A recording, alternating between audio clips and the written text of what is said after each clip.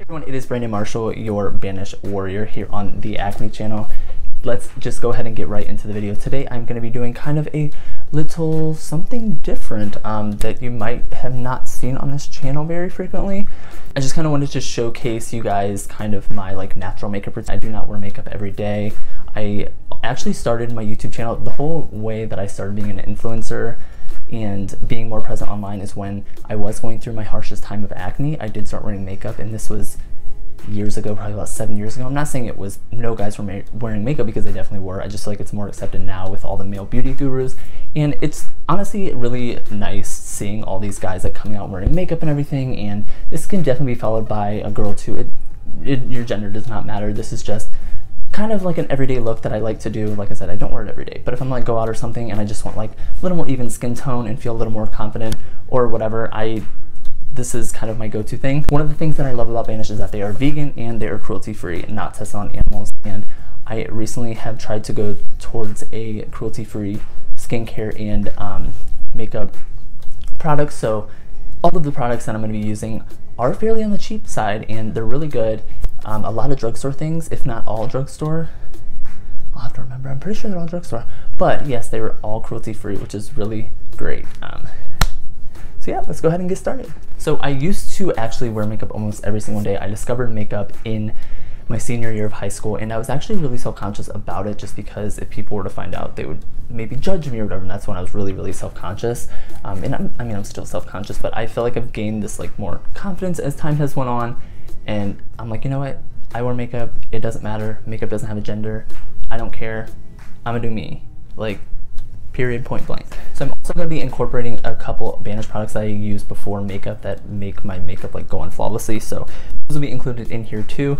And this is my little makeup pouch right here. Not that you guys care, but this, I got this from Urban Outfitters and the clearance for like $2 and I love it. Keeps all my stuff together. The first thing I do like to start off is with is the Vitamin C Beauty Elixir super hydrating and nice to apply makeup over. So I just do a little base of that real quick just to give my skin a nice little moisturized base. And I rant and rave about this product all the time. This is the vitamin C cream.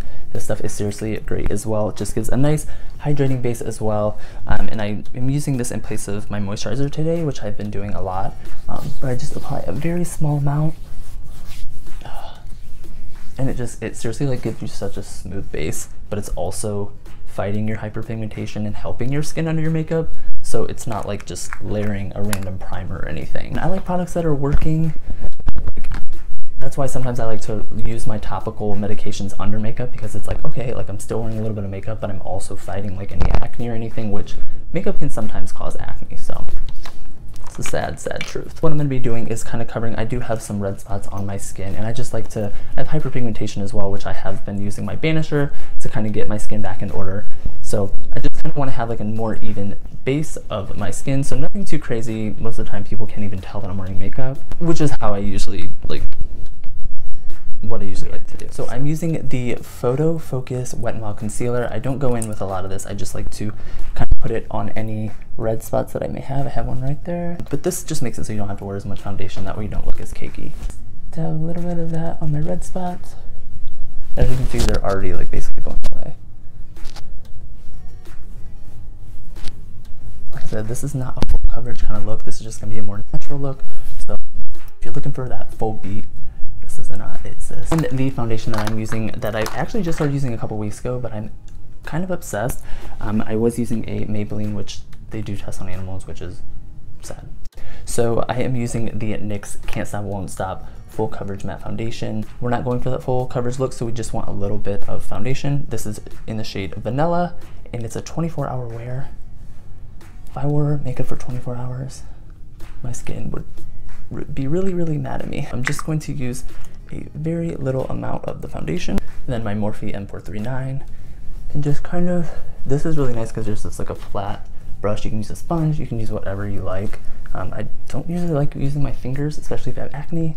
You do not want to spread those germs. Just kind of, even over that um, concealer, you just want to go up and down. Like, I'm not a beauty guru. I'm not. I'm just giving you my tips. I could be doing this all wrong. So there, there is that with just a little pump of foundation. I do have a little bit left on my hand. I do have some hormonal scarring, so I also like to kind of go down um, and get some coverage on those as well.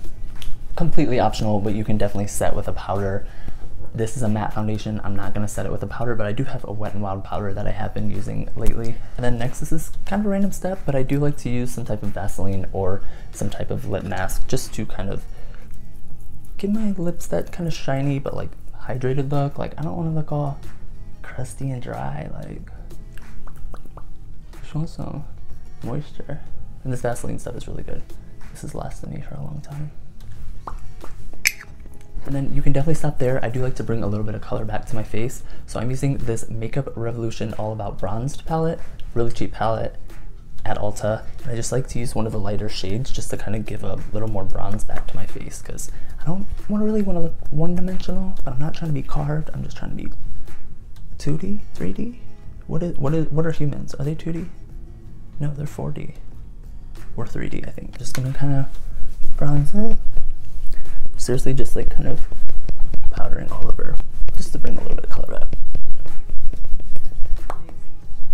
And to set the face that way it stays throughout the day, I do like to go back in with my vitamin C beauty elixir and just kind of mist it everywhere and let that dry. And that just kind of like brings everything together. You can like use these as multi-purpose kind of like, you can use them as primer, you can use them as setting spray. Like it's really nice that it kind of doubles as those as well. So that was just my kind of natural everyday go-to look for you guys. It was super, super simple, but I want to show you guys kind of little routine and how you can kind of incorporate some of these products as well. It's super, super easy and you're also helping your skin even while you're wearing makeup. So it's a win-win. Thank you guys so much for watching. Definitely check out all the other Banished Warriors on this channel.